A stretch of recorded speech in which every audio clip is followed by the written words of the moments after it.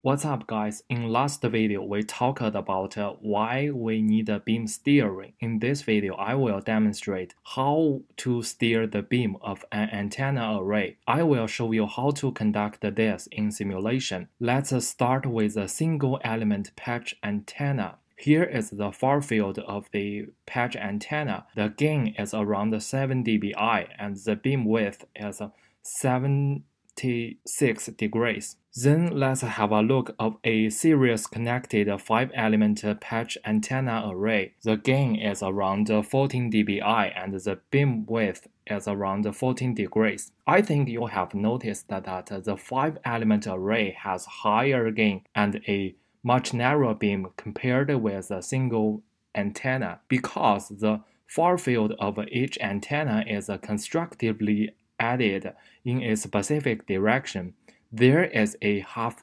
wavelength between each element. Five elements are seriously connected, so there is a phase difference between each element. But in this case, the phase variation cannot be changed. The phase shift is controlled by the distance between each element. We can move one more step and make a more ambitious design. A 1 cross 5 patch array can be regarded as one antenna and four of them consist of a 4 cross 5 array. We have noticed that this big array achieved a gain around 20 dBi and a beam width around 19 degree. We can steer the beam of this large array by changing the phase of each signal injected into each port. Here are two methods to achieve this. The first method is setting phase shift for each port and then run the simulation. But it is a time consuming. In second method, we can shift the phase of the signal injected into each port after simulation in post-processing. It is a time-saving method. I will show you how to do it. For example, we try to add a 30 degrees phase shift on each port, and you can notice the beam has been shifted. Now let's wrap up.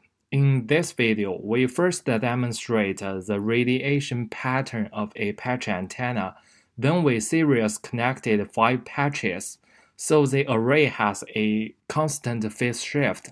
The disadvantage of this topology is that the phase shift cannot be changed once the PCB layout has been fabricated. We also demonstrate a large 4 cross 5 array. Finally, we illustrate how to add a phase shift on each port to achieve beam steering in simulation. Thanks for your watching. I hope you have learned something from this video.